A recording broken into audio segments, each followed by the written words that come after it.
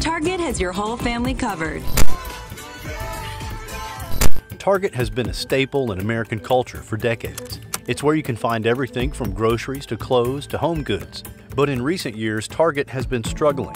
The company announcing it'll shut down nine stores by the end of October. It has lost over 10% of its market share in the past five years, and the company has been closing stores. So, what's going on? Why is Target declining? Target, that major U.S. retailer, losing billions of dollars in market value over the last couple of weeks. Well, Giant Target lost $10 billion of market value in 10 days. In this video, we'll uncover some eye-opening facts that many people may not be aware of, shedding light on the forces shaping the fate of this retail icon. So stay tuned and don't forget to subscribe. Target is an American retail corporation that operates a chain of discount department stores and hypermarkets. It is the sixth largest retailer in the United States and a component of the S&P 500 index. The company is one of the largest American-owned private employers in the United States. However, in recent years, Target has been struggling. Same-store sales have been declining and the company has been closing stores. There are several reasons for Target's decline, but before we get into those reasons, let's look at its birth and how it rose to fame.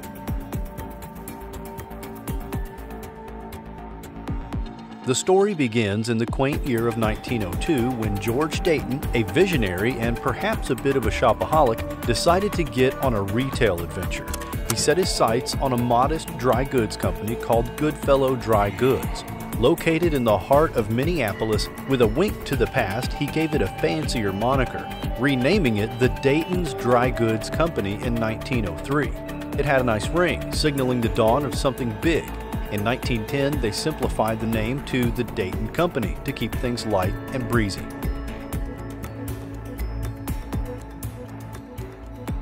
But the real Target magic started to shimmer in 1962 when they flung open the doors of their very first store in Roseville, Minnesota.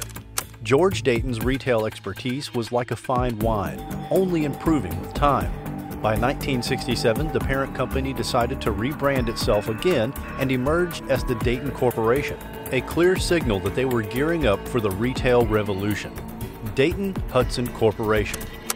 In 1969, Dayton Corporation and the J.L. Hudson Company decided to join forces, creating a retail powerhouse known as the Dayton Hudson Corporation.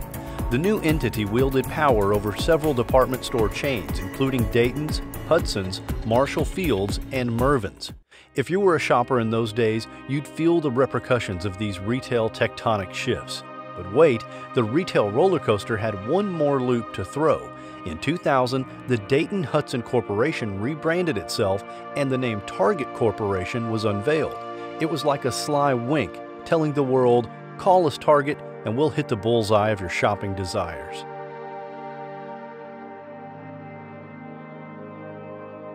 Fast forward to 2006, and Target opened up the P-Fresh store prototype, shaking things up once more. The goal? To make grocery shopping hip and happening. This concept brought perishable and frozen foods, baked goods, meat, and dairy under the same roof as those chic clothes and stylish home goods. You could now grab a cart and some broccoli while picking up your favorite pair of jeans.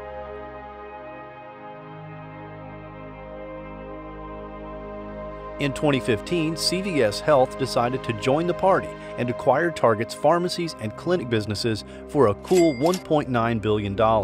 It was a prescription for success, with Target pharmacies morphing into CVS Health pharmacies and Target clinics transforming into Minute Clinic, offering a one-step shopping and health experience. And then there's Super Target, the superhero of hypermarkets. These colossal stores first burst onto the scene in 1995, taking the Target experience to a whole new level with an entire grocery department. The modified tagline, Eat Well, Pay Less, started echoing in the shopper's ears in 2004. Super Target was designed to be the ultimate destination for groceries and stylish finds.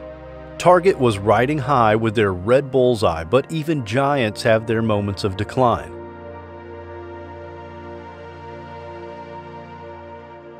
Target's fiscal second quarter net income, quite the feat at $835 million, was up from a mere 183 million the previous year. However, the revenue took a tumble, a sharp drop from the same period in 2022 when they were dealing with a surplus of inventory. The e-commerce sales, once soaring, took a nosedive by 10.5% from the previous year, and same-store sales fell by 4.3%, like a bullseye missing its mark. To make matters worse, Target's Circle app felt the pinch with a drop in daily active users, indicating a downturn in digital orders. As if that weren't enough, the retailer's inventory levels were 17% lower than the previous year, with a 25% decrease in struggling categories like fashion and home furnishings. The recent controversy surrounding their Pride Month merchandise didn't help matters either. In response to these challenges, Target had to make some tough decisions, slashing its full year profit outlook and pointing fingers at the return of student loan repayments as another blow to discretionary spending. Oliver Chen, managing director at TD Cowen, observed, Overall discretionary softness is still apparent among Target shoppers. Some categories like essentials and beauty manage to keep their heads above water, helping to offset the decline in discretionary categories like home and apparel. But that's not the end of Target's troubles. The fallout from various controversies and declining sales have created a storm of headwinds for the retail giant.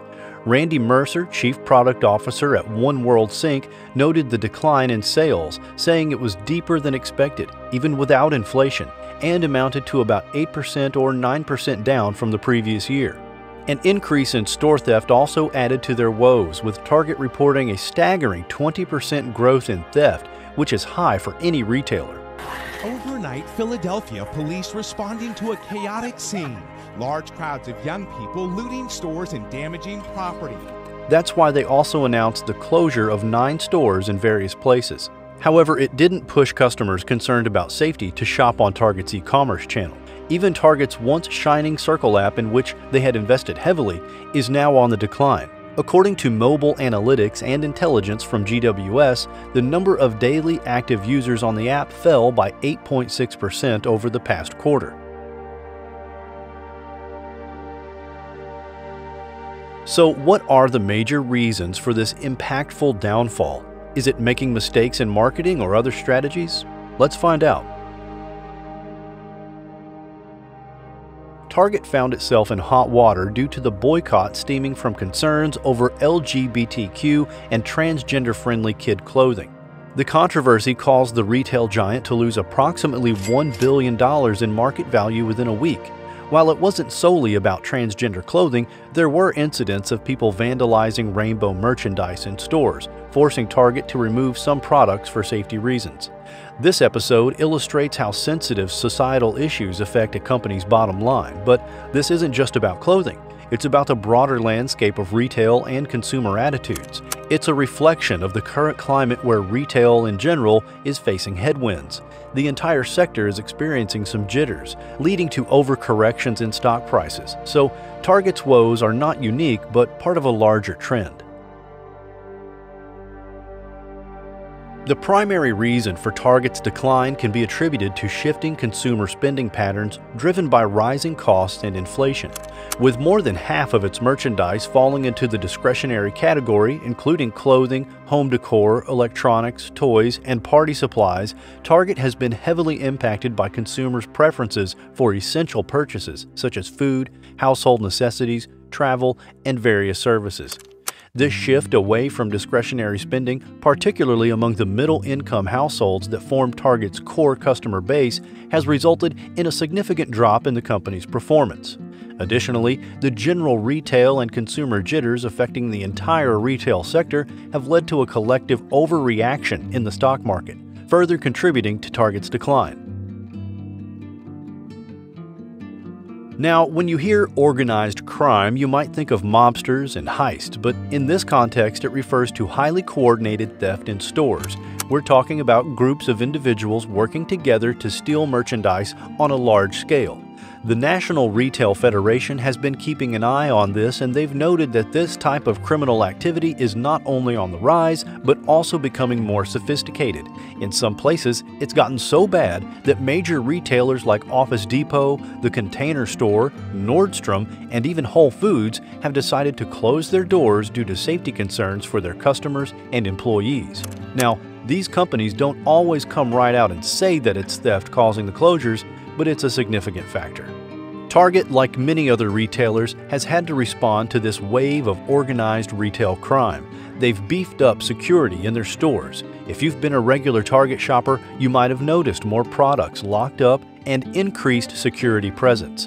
While these measures are essential for curbing theft, they've made the shopping experience less convenient for loyal customers. CEO Brian Cornell has been vocal about the impact of retail crime on Target's business. He mentioned that theft is an urgent issue and has caused a whopping $500 million increase in the company's missing inventory for the year. He's also noted a significant increase in store incidents involving violence or threats of violence between January and August. However, here's where it gets interesting. Publicly available crime statistics don't always align with Target's claims. They don't definitively show a significant increase in nonviolent shoplifting or violent robberies in the areas where stores are being closed. Jim Joyce, a spokesperson for Target, acknowledged that missing inventory known as shortage has nearly doubled since 2019. This increase coincides with a substantial rise in fraud both online and in stores. Target's struggle to adapt to the rapidly evolving e-commerce landscape has been a significant factor in its decline. While online shopping has become increasingly popular, Target has faced difficulties competing with e-commerce giants like Amazon. Their e-commerce platform experienced a decline in sales, down 10.5% from the previous year, highlighting their inability to keep up with shifting consumer preferences. Target's inventory management has been far from optimal. They found themselves holding 17% lower inventory than the previous year, a move that signaled difficulties in forecasting consumer demand accurately.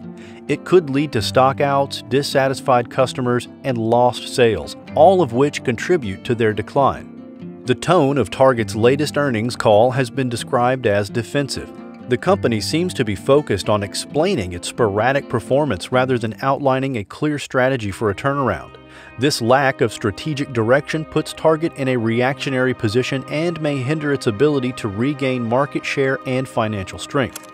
Target has been criticized for its poor customer service. Customers have complained about long wait times at checkout, difficulty finding help from employees, and a lack of responsiveness to consumer complaints. To improve its customer service, Target needs to hire more employees, reduce wait times at checkout, and make it easier for customers to find help. Target's customer base has traditionally been white, middle class families. However, the demographics of the United States are changing. The population is becoming more diverse and more urban. Target needs to adapt to these changing demographics by offering products and services that appeal to a wider range of customers. In the recent years, Target has tried to expand its business into new areas, such as grocery and financial services. However, this has distracted the company from its core business of selling general merchandise. Target needs to focus on its core business and invest in improving its product selection, customer service, and digital business. So, if Target can address the challenges it's facing successfully, it could become a major force in the retail industry again. It has a strong brand, a loyal customer base, and a nationwide network of stores. With the right investments and changes, Target could become a one-stop shop for retail. What do you think about Target? Do let me know in the comment section and don't forget to subscribe.